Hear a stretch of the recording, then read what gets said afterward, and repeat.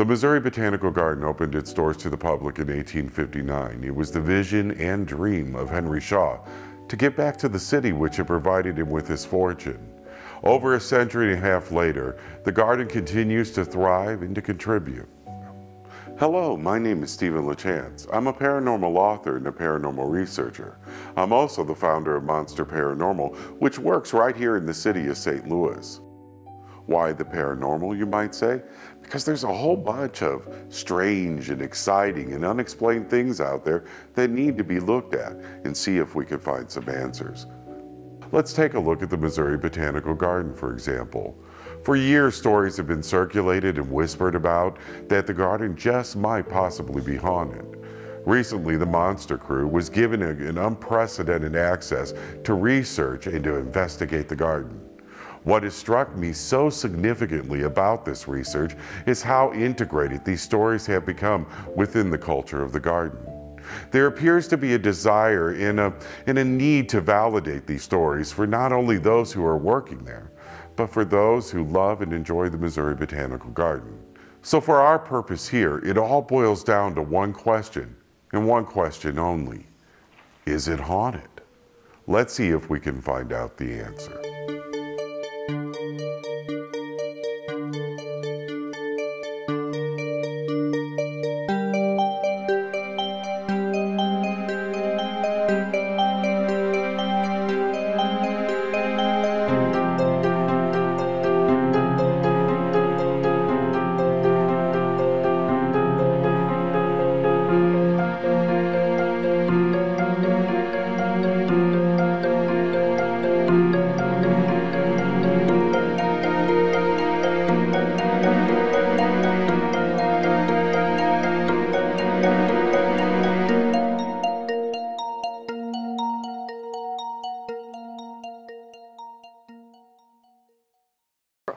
My career here at the garden started actually way before I became an employee. I was fortunate enough to have the opportunity to live on the garden grounds when I was a child. My father actually works in horticulture.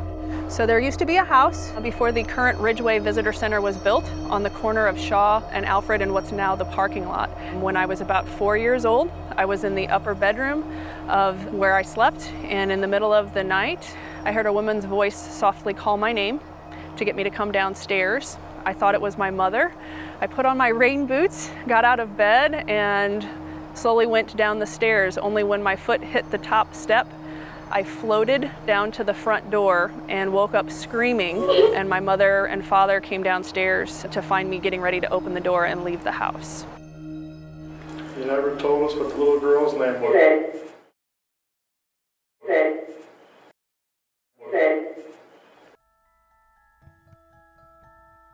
First year, my offices were based out of the gatehouse, and the first weekend we would hear the doorbell ring, and every single time we'd get up and we'd go answer the door, and there'd be nobody there.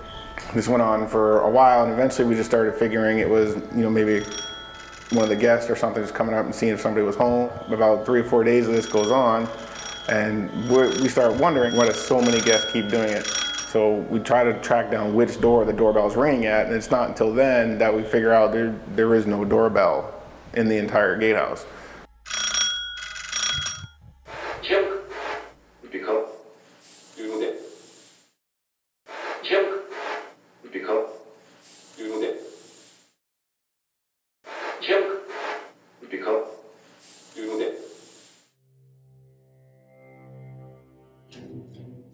Last October, there were a couple of ghost tours through the garden, and a volunteer and I worked in the house and we welcomed the participants in. I shared some of my stories with them, and he shared his. And during the course of the uh, conversation, one of our participants said that they had heard a clock chime. And she says, Oh, she said, uh, Did someone just wind the clock? And Jennifer looked at me and I said, Well, no. I said, I'm a volunteer. I don't do things like that. And we have no working clocks in the house.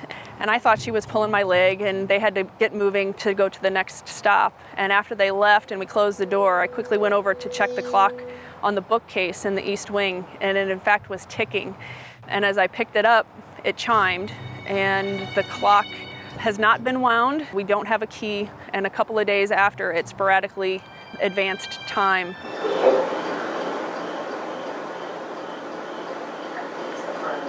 I hear a clock. Only taking I hear. Wait, um, clock ticking. Is it that? That's the ticking.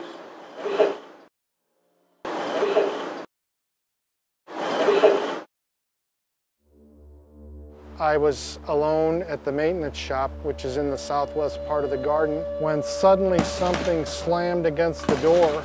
And at the same instance, all these tools came falling off of the pegboard over our saw table, leaving large holes in the pegboard. It was rather strange.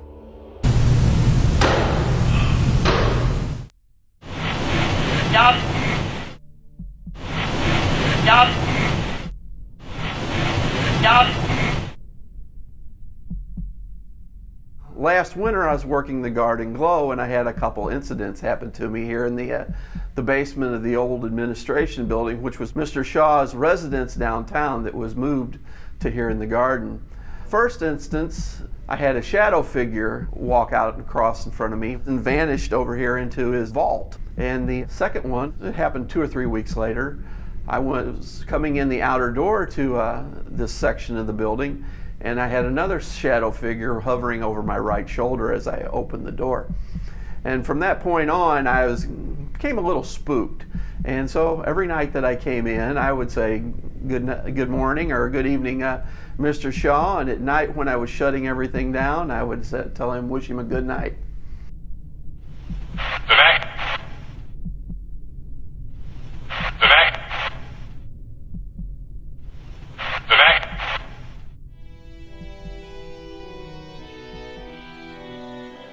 We had a train in a Christmas scene that we had set up, and I had to be very on top of the batteries because batteries accumulatively get very expensive. And so I would always make sure that I turned the batteries off at night so that way they would last me about three days. Now, I didn't want to ruin the Christmas scene by crawling underneath the tree and possibly moving the scene or the tree or something and some another thing I'd have to fix. So I'd always wait for the train to come to me and where I'd pick it up and turn it off and then set it back down on its track.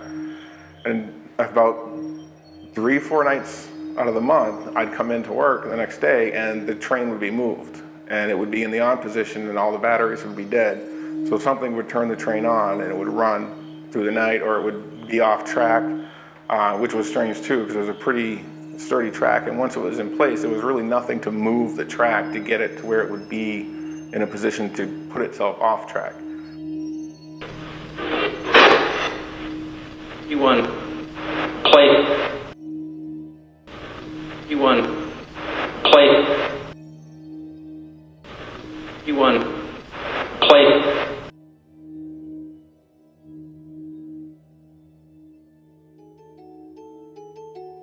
In some of our buildings, we have candles in the windows.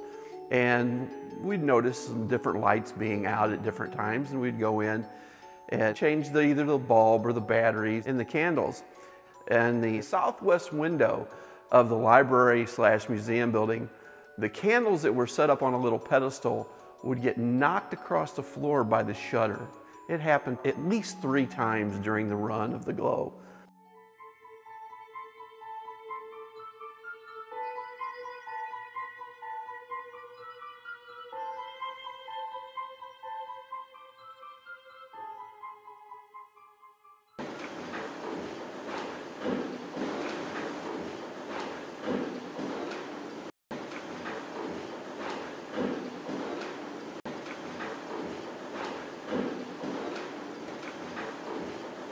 Several times in Tower Grove House when we decorate for the holidays, while we've been upstairs, we've heard a man's footsteps with hard soled shoes walk from the back of the house to the front of the house. And when we peer over the railing to ask who's there, no one answers.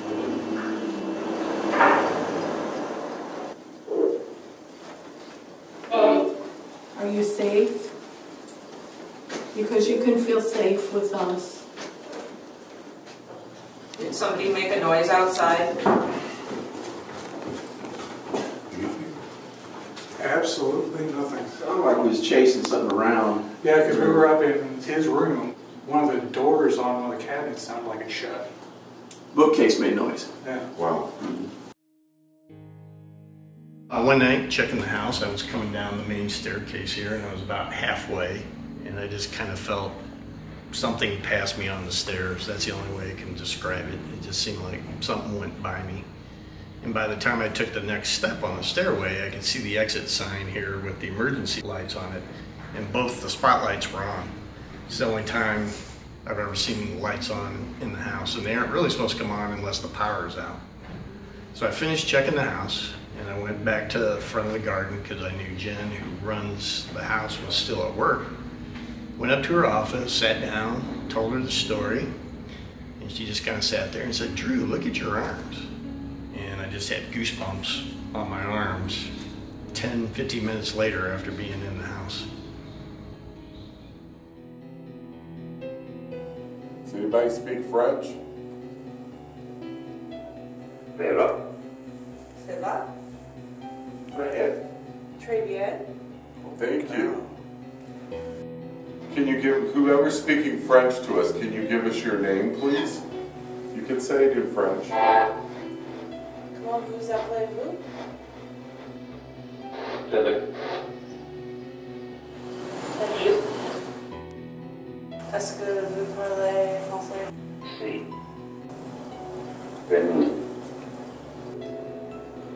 So what language you want to speak next? Your choice. Working on a Saturday afternoon one day in the administration building. I was on the third floor near the elevator and I kept hearing the elevator come to the third floor and open. And I'd go and look and no one was there. Well, this happened three or four times while I was there and I knew there wasn't anyone else in the building.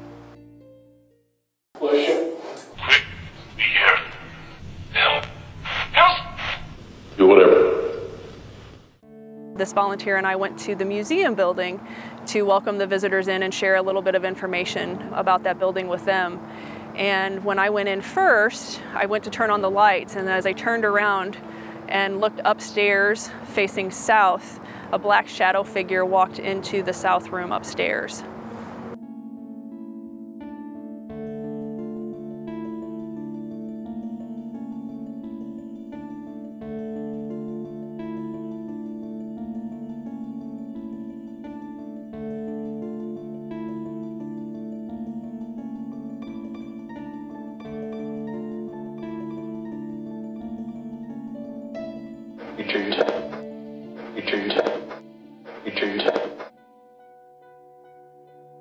A volunteer was showing up for duty to open up the house, and as she walked through the mausoleum grounds, she saw a woman standing up at the front of Tower Grove House, peering through the wrought iron gates as if she were talking to someone.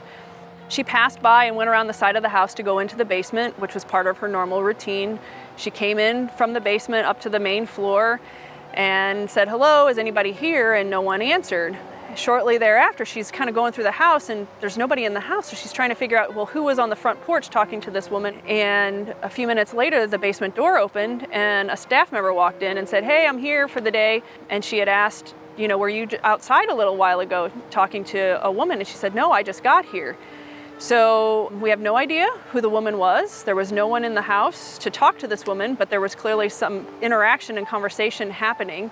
So we sort of surmised that perhaps it was Mrs. Edom talking to Henry through the gates because there's a historic picture of Mrs. Edom in her memorial gown standing in front of the mausoleum.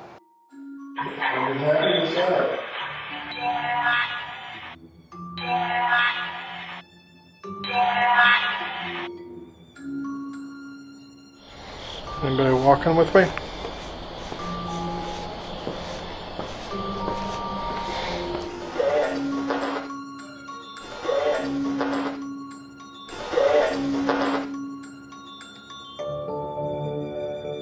After collecting way over 200 pieces of paranormal evidence, you think we might be able to answer our question by now. But maybe the answer to our question does not lie in the present. Maybe we need to go back into history to see if we can answer the question is it haunted? Or maybe that question was already answered. Is it haunted? Well, the answer is yes, it is.